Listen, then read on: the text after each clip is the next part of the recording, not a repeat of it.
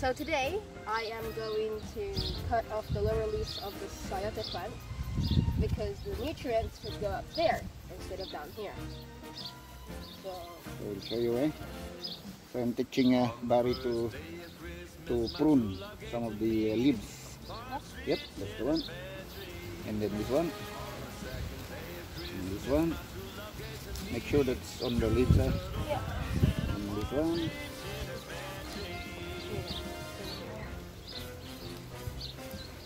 Yep. Uh, maybe you can remove this one too. Yeah, and this one. Beautiful. Um, this one over here. No, no, this one. This one. Actually, it's better if you can hold to, so that you can determine the old uh, leaves. This one. That one over there. This one, make sure that it's the leaves. That one is the trunk. Yeah. For the main stem that's going up. Or over here. That one. Yeah. And this one. See that one?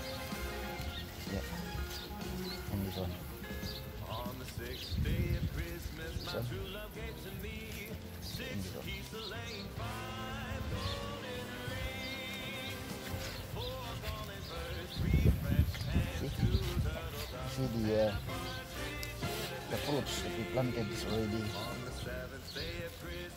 rooting so you can cover it with soil. This one, see? Well done. Maybe this one is not good, so we can cut this one.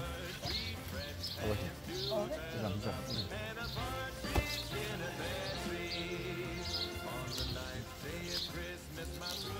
We go to the other side. To the other side.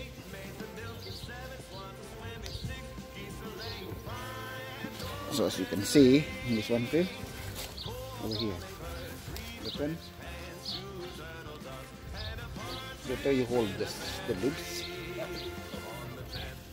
Hold the leaves, and then you know what you're cutting. This one. This one. Yeah. Mm, yeah. Oh, come on. This one.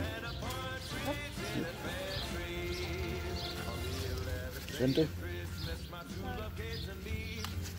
This one. This one, big one.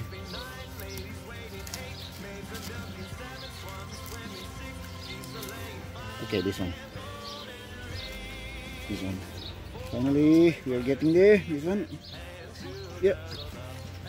This one. Okay. And this over two here, which I'm gonna put in like that. Okay, what did you learn today, Barry, in gardening? Pruning. Pruning, yes. That's pruning. Cutting the old leaves and making the nutrients go up there. Yep, that's the idea there of doing it.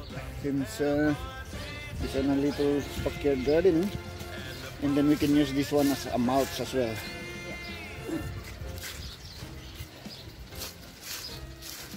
You say hi, hey everyone. Goodbye and uh, Goodbye and see you soon. see you soon. Be safe everyone. Matago-tago tako amin and alwad-alwad lata. Cheers.